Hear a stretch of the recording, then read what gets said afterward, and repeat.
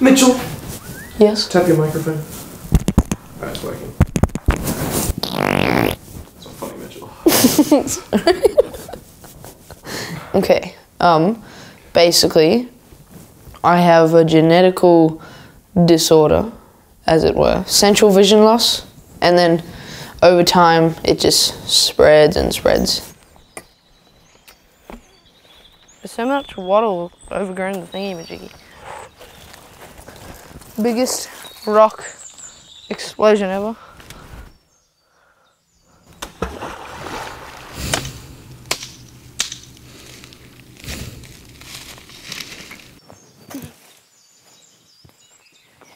So, what's the best thing about this place? Probably just it being quiet, you know, without any distractions. So you can just do what you want to do, eat food, explore, build something. You don't have to do it with all the commotion around you.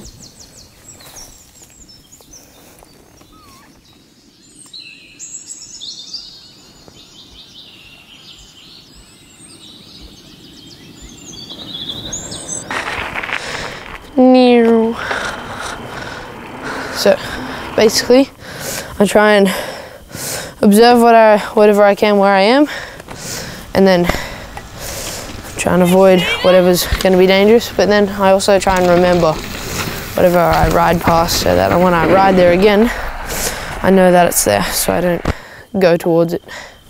So yeah. Imagine you have kind of a tennis ball sized object. It doesn't move, but it it's stationary, but wherever my eyes go, it goes.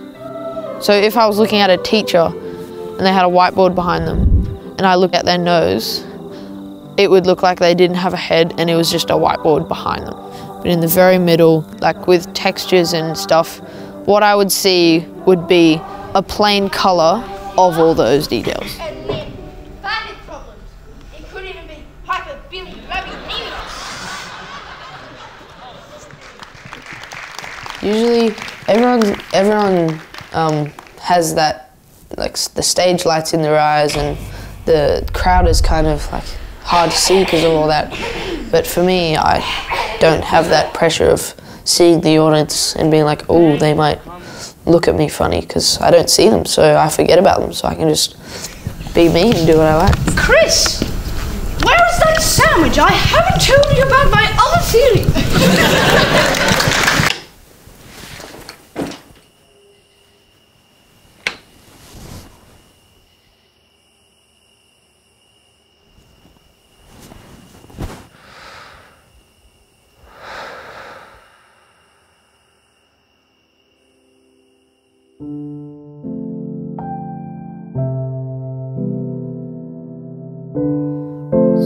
basically, at nighttime, my vision kind of does a funny thing where, because there's lack of color and brightness, it kind of gets confused and puts color in there.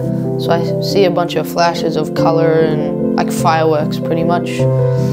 And it kind of just dances around in my vision.